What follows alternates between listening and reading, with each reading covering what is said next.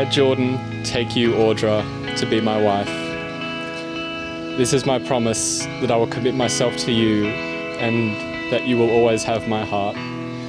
No matter what you face in life, know that I will be right there with you, supporting you through your endless success and holding you steady through your trials. I promise to always share with you, care for you, and communicate with you. I will always be proud of the amazing woman you are. I promise to always respect and honour you for all the days of my life. And I promise to always be your best friend. You are everything I could ever need and everything I could ever want. If I should live forever and all my dreams come true, none would be as great as the love I have for you. I give you my heart, my soul, and my life to keep. I will always love you. I, Audra, take you, Jordan, to be my husband. Today I give you myself, my promise that I will love you all the days of my life. I promise to be your friend and partner every step of the way. I dedicate myself to your happiness, success, and smile. I promise today to always stand by you, no matter what we face, to love and accept you exactly the way you are. I promise to always be proud of the man that you are and to always encourage you to pursue your hopes and dreams.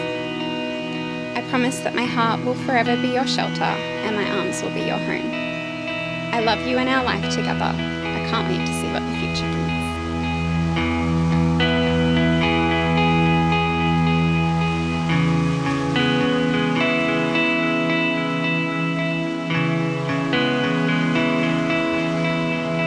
Jordan, you are to shelter Audra's life with protecting love, and you, Audra, are to wear your ring as the enclosing bond of reverence and faith in God, together fulfilling the perfect circle of unity that makes you one. And to both of you, I say, may your love for one another, your devotion, and your faith be unending like the circles of these rings eternally. And those whom God has joined together, let no man set apart.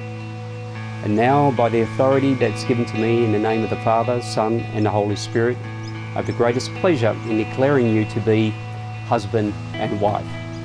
Jordan, you may now kiss your beautiful bride.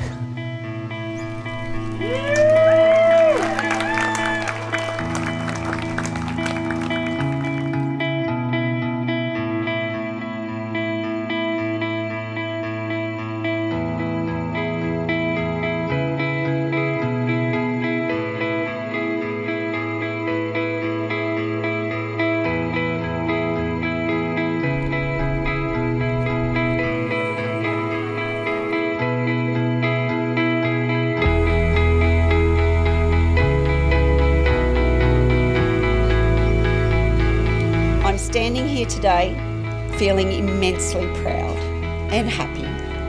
But there's also a tinge of sadness as Audra's dad, Jamie, is not here with us today. Even though he's not with us, Audra and Jordan will be honouring him later by cutting the cake with his sword. Jamie would have been bursting with pride seeing how beautiful our daughter is and thinking, I cannot believe our fairy is getting married. Congratulations, Mr. and Mrs. Saville. Who would have ever thought our fairy would be getting married one day as well?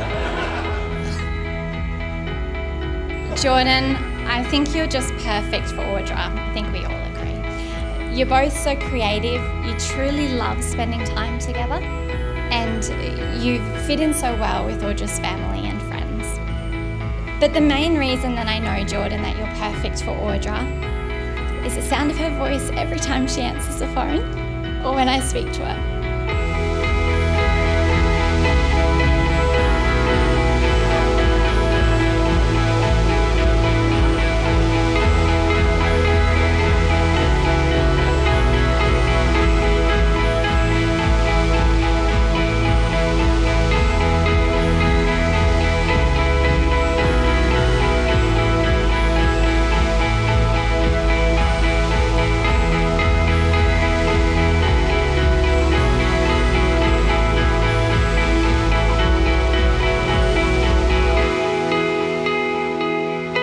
We make a perfect pair while maintaining our independence, and I can't wait for all the more love we'll share for the rest of our lives.